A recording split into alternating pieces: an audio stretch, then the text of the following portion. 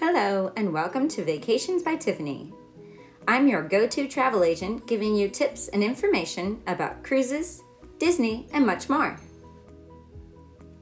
In this episode, I'm telling you about what is and is not included on your Virgin Voyages cruise. Virgin is pretty new to the cruise industry, and they're really changing things up by being all 18 and up. You'll find a lot of things are included in your cruise fare that you wouldn't normally expect. And the good news is, they're not just temporary promos. This is all the time on every cruise. First up is the Wi Fi. They've got it all included, and it's pretty good Wi Fi at that.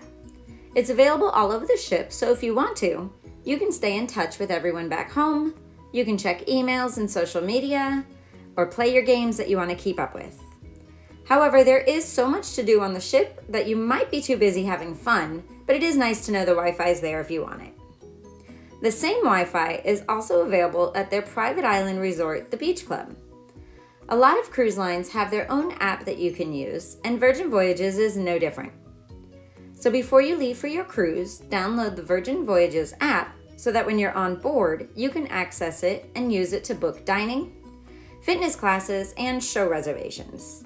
You can also check which events are happening around the ship and when. So let's talk about food, one of the best parts about cruising, in my opinion.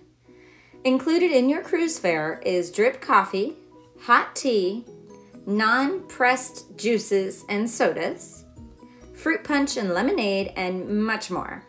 Lots of options included in the price. This here is the galley, which is open for breakfast, lunch, and dinner, and in between for drinks and snacks. And the sodas are all over the ship. So let's say you go to trivia at the pub, unlimited soda. You go to the pool and you order from a server, also unlimited soda. You stop by the bar on your way to your cabin, you guessed it, unlimited soda. There's also flat or sparkling water delivered to your room daily or by request. That was really such a nice feature. I liked having a designated water pitcher right in my cabin.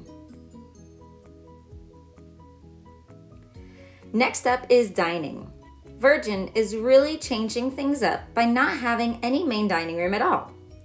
Instead, they have specialty dining, but it's all included in the price. Now, usually something like the steakhouse or the Italian restaurant will cost extra on other cruise lines, but not on Virgin. This one here is Razzle Dazzle. It's a vegan forward restaurant where you'll find things like the Impossible Burger, and it's also open for brunch and dinner. This is a test kitchen, which was my personal favorite. It's a laboratory type eatery with experimental food. Pink Agave features modern Mexican and has a huge tequila menu. This one is The Wake, which is their steak and seafood restaurant. It's also open for brunch and dinner. Extra Virgin is the Italian restaurant with tons of freshly made pasta choices. And last but not least is the first Korean barbecue restaurant on any cruise ship. It's called Gunbae, which means cheers or bottoms up in Korean. You're bound to have a good time here playing drinking games with your table mates while your food is cooked for you right at your table. I do have other episodes here on my channel where I go into much more detail about each restaurant and what they feature on the menu. So for those of you who have been on cruises before, you know that you usually see a charge on your account each day for the gratuities. Well, Virgin figured since they're including the dining, they'll include the tips too. So there's no surprise totals on your bill while you're sailing away into your vacation. That also includes gratuities for your stateroom attendant, too. One more big thing that's included is group fitness classes.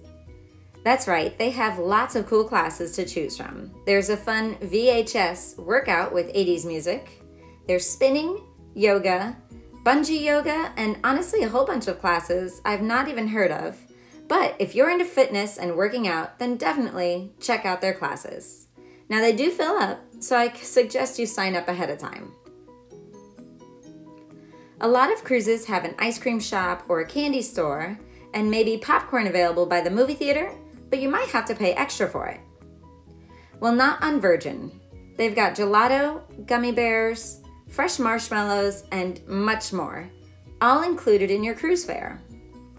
Check out my snack episode for more details. All of the entertainment on board, like the shows and productions, are all included too. There's also trivia, games, and live music, just to name some of the huge list of entertainment that you'll find. All right, so now for the parts that aren't included there's alcohol, pressed juices, smoothies, and specialty coffees like espresso drinks. But don't worry, Virgin has you covered with what they call Bar Tab. Before you set sail, and even while you're on board, you can put a specific amount of money on your tab and be ready to order whatever you want.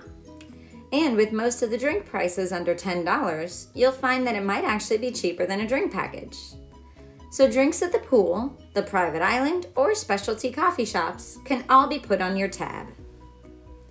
You can also rent a cabana at the beach club in Bimini for an extra charge. Also, not included is spa services. Redemption is the name of their spa and thermal suite. They've got things like massages, seaweed wraps, and hot stone treatments. Or if you just want to splurge a little bit, you can treat yourself to a session in the thermal suite. They've got a mudroom, sauna, and hot and cold plunge pools. It's very glamorous, but they didn't allow cameras, so I couldn't bring you along. They do have lockers and locker rooms, however, so you don't have to leave everything in your cabin. Also, not included is room service. For a small fee, you can order anything 24 hours a day and have it delivered to your cabin. Thank you very much for watching. Please subscribe to my channel and visit vacationsbytiffany.com for more. See you next time.